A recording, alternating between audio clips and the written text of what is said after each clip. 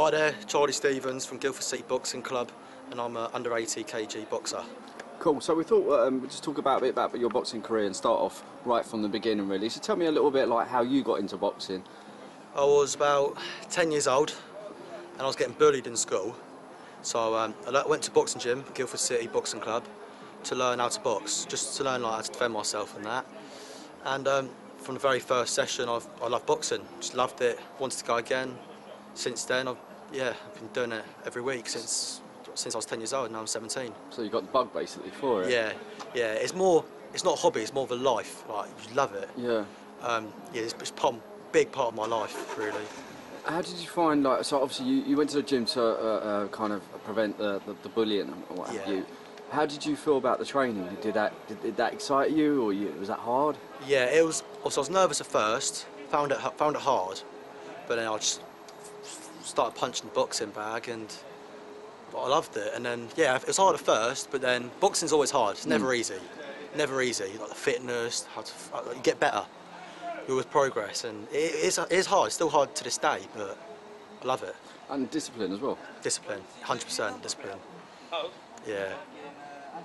Um, so in regards to when you first came in the gym and you know explained the situation about the, the, the bullying, uh, did you know did, from that did did you manage to kind of like prevent prevent that sort of things of happening? You know, was it uh, Yeah. to kind of defend yourself outside of the ring, shall we say? Yeah, so in boxing, I've um, every boxer can probably agree with me. You get a lot more confident, not as a boxer, but as a person. You become a lot more confident. Um, and yeah, so obviously the guy that was bullying me back in like year six, um, he just stopped picking really, and then um, never actually got into a fight out of the boxing gym. So I don't want to really keep my Yeah, weapons and that. of you know what I course, mean? of course. because with boxing they um they say if your fists are trained, so you, they, they, they prefer as weapons, don't they? So yeah, I don't really get into fights and that. So you stop the bullying and yeah, Well, about your first amateur fight, how, how- did that? How did you feel about that? Because I was yeah, I was 12. yeah, I think I was, I was about 12. I was at school. I get a phone call from my mum. You're not going to detention later because you've got a fight. I was like, oh right, lovely. Went home, had dinner, went to Crawley. I boxed a boy who I previously had a skills bout with, and I beat him on unanimous in- on his own show in Crawley. And I was oh, so nervous for it. And then afterwards, I loved it. Couldn't wait to get back in the ring. I was say, how, how did you feel afterwards? It must have been such an emotion. It meant the world, honestly. Yeah, it means so much.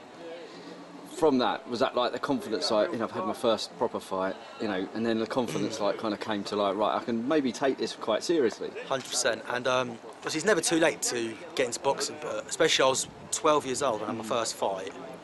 You've you're only going to get better as a boxer, and I just wanted to get back in the ring. I had a fight a couple of weeks later, and it's gone from there really. In regards to like long term, do you see yourself actually turning professional? Yeah, I do. Yeah, I love to. Um, I've yeah been boxing for just 10, 17, so about seven years, and I've had a break for the past two months. Had a fight in October, national semi-finals. That didn't go my way sadly, but we go again. Had a break for a while, but I'm getting back into it. Hopefully, have a fight within the next two months.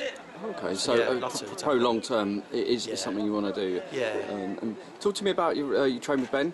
Ben Uh, yeah, tell me a little bit about that relationship.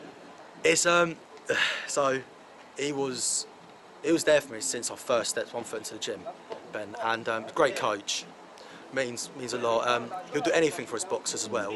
Takes you up and down the country for fights, up and down the country for sparring. He'll do anything. Sometimes if I can't get a lift to, to, to training, he'll come pick me up, draw me back home. Um, same as Mike Bartel. He's they're both great coaches. Do anything for you, for the boxers. Yeah, so you know, it's nice to kind of see you know that development, and you know, obviously you're proud of him, he's proud of you. So it's. Uh, um, so when did you say your next next fight it will be? Well, hopefully within a couple of months. Um, need to get a bit more fitter, I think. Get back into the gym, get a bit more fit, and hopefully the next home show. We've got one, I think, in May in York Hall.